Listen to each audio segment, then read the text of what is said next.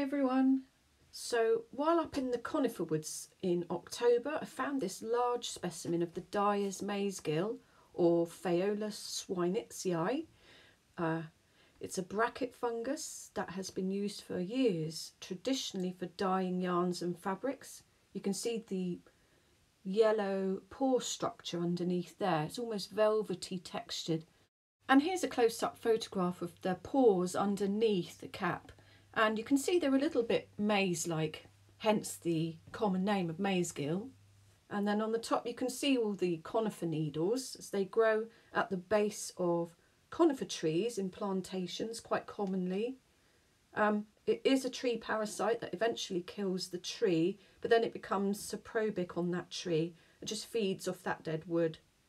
And the dyes it yields are sort of yellows through oranges to browns, it's traditionally used for dyeing fabrics and yarns, but I thought I'd give it a go on some paper because I do a lot of paper staining with tea, coffee and inks. So it seems like a good idea for an experiment. And I've made mushroom paper before with a birch polypore. And, and here's an image of that homemade mushroom paper with a picture in ink of the birch polypore on it. But I've not dyed anything with a mushroom yet, so this is a first. Okay, I've got the Dyer's Polypore now here in the kitchen and I've got a big stock pot on to boil up some water. I'll just break this mushroom up into little bits. I'm going to simmer it and see what kind of colours come out and then I'll, dip my papers into it and see how it works and uh, I'll get back to you. Then you can see it simmering away now in the stock pot in the water and it's releasing its golden colours and oranges and ambers. And just a quick shot of me here, sorry about the wobbling. Um, I'm just laying on some leaves into some paper to, to do some eco dyeing in the mushroom stock, just to see, it's an experiment to see how it comes out. This is a technique I've done quite a lot before and I love the results. So I did the dyeing of the papers yesterday and they've had overnight to cool down and dry off and they're still a little bit damp but these are the papers. Um, you can see I just folded a sheet of A4 in half and just dunked them into the mushroom dye mixture that was in the stock pot and let them take on the colour and you can see it's a lot like coffee or tea dyeing, perhaps slightly yellower. And there is some variegation, some darker areas, and you can see there where it was folded. I really like that actually. I like to have a variegated look. You can see there. And um, having the pages folded like that are good for if you want to make a book, so they're instant pages for a book. And it is slight it was slightly thicker than a computer paper. It's thicker paper, but not that thick. You can see it's still quite flimsy. And this one has really taken on some dark patches from the oak leaves that I added to the mix. Because, um, and this is how I did it. I, with two old kitchen tiles and I wedged the paper together and tied them up with string and put into the dye bath with the addition of the leaves. So there's oak leaves and oak leaves are good because they release a tannin. They've got tannins in there in them and they release a, a darker and you can see how variegated that is with some kind of leaf veining. And again I folded it in half but the same size cut the same size as the, the kitchen tile that I used. So you can see and then I as I folded them over I added just more leaves on so the back side has got leaves too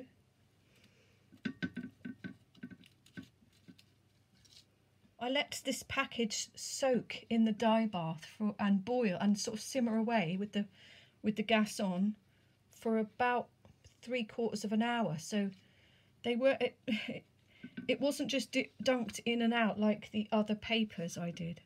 Here you can see I had maples on the other side, but there's more oak leaves, see? There. Ah, you can see oak leaf here. So you can just see it's just a very faint uh, um, effect, a ghosting of leaves. There's my maple leaves. Now that's lovely. You can really see the, the maple leaves there. I hope you can see that. The impression. And there's some redder dyes come out of the leaves there because they were red. You can see they've lost all their colour. There, that's a really good one.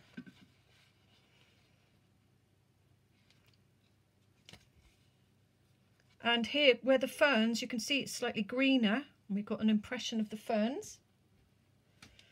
So you can try any um, leaves to do this eco dyeing. And I put them in, I put it in the mushroom stock water, but you can just do it with plain water. Just boil it in just normal water. And also a lot of other people use mordants, like they add iron, so some rusty iron nails perhaps thrown in, and that creates a different, um, it changes the colour slightly, so the chemical composition. Some people also use alum, which is like a powder, and again that changes the chemical composition and so you get different colours and also it can help with light fastness I think. But I didn't have any iron or I didn't have any alum so I just did it with the the mushrooms in the water. So there you see I pressed them between two kitchen old kitchen tiles I had lying around. And then I tied it up completely with string and, and made sure it was really secure that it wouldn't come undone and there we can see some green there on the, the ferns So I'm really going to let those dry now because they're still damp and it's very, very, it, it's very, very delicate when it's damp. Um, it can rip easily. So there we go. That was an interesting experiment. Now, would I use the dyer's Mazegill again for dyeing?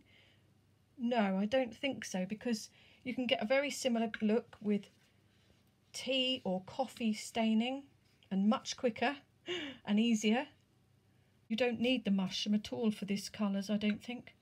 And um, for the eco dyeing with the leaves, you can just do that with ordinary water. So there you go. I probably wouldn't use the dyer's pot mushroom again, but it was a great experiment to see how, how it would work. So here I've actually got some ink caps making their own ink. So they're in the process of deliquescing which is when they release their spores in this sort of black inky soup. And it did once used to be used as an ink but, um, in the past. So this is a great little experiment going on here. And here's a lovely photograph of the shaggy ink caps, Coprinus comatus. It's a photo from Pixabay and this is the mushroom in my ink pots. And this is another species of ink cap. It's the common ink cap and it, you can also make ink from this one as well, but it's just a bit smaller. And here I've got my two pots of ink caps, the shaggy ink caps that I collected before, and they've been in the fridge for three or four days, and you can see they've really rotted down into a soup, a black soup.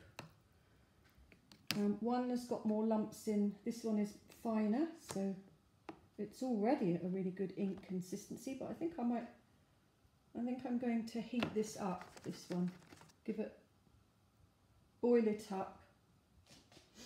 Um, I've put, I've added a couple of drops of clove oil because apparently according to Roger Phillips mushroom book.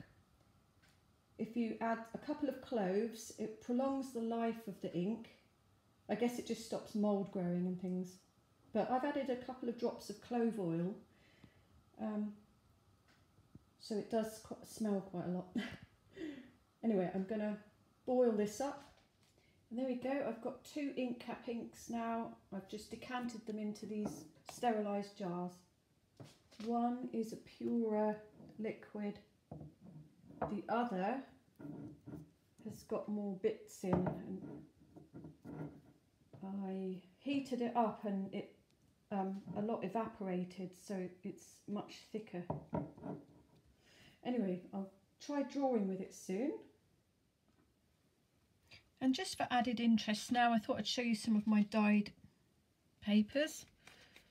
This is one that I dyed with acrylic inks and pressed ferns into it.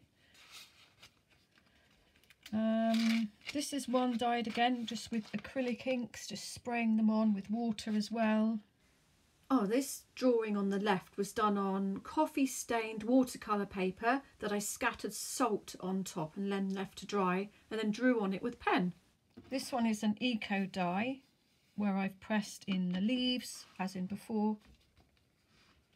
Um, oh, now this, this here, this page, this is an eco dyed page. And here you can see some of the leaves have formed a resist so they've kept the white of the paper. They've kind of masked them out. Here you can see an oak leaf here. And these colours were accentuated because I added some red onion skins into the boiling water. And all these beautiful colours came out. So that was red and white onion skins so that's a great idea if you do eco dyeing, if you try it out and you've got some old onion skins, chuck it in. You can also use things like turmeric for that, that would be bright yellow obviously. But look at there's this big leaf here. There's one that I've done collages on. Here's another one. Um, you can see the gorgeous patterns. These are left by leaves. This pink was a lichen because you can also dye with lichens. And this pink, that was a species of lichen that I thrown in. And there, I think you can see a lichen branch there. And there. This is gorgeous. So this is some of the things you can do with eco dyeing. The process I showed you with the dyer's Mazegill pot. Look at this beautiful patterning here. I mean, it's just got a very, it's like got a watercolour effect going on here and there as a leaf. That's a red oak leaf. So it's something to play around with and experiment with. These are just dyed with acrylic inks, these papers, and these are just normal printer papers. They're not thick watercolour paper. This was just the same paper as I used with the mushroom dye that was slightly thicker than printer paper. These, the acrylic dyed papers, are just normal printer copy paper. Look at the effects. So you can have great fun with some inks, eco dyeing, spraying, if you like. Oh, there's another one, look, the other side. And you can see how I've, you know, folded them in half. This book isn't stitched in. The pages are folded in half so that you can make book pages. And because this is a traveller's notebook style. It's held in with elastic so you can easily slot pages in and out in this style of journal. This this was a lichen, this pink colour. Green acrylic inks. So there you go. That's the fun you can have with eco dyeing and other dyeing experiments. So there we go. In the next video, I'm going to do some drawing with the mushroom ink. So bye for now.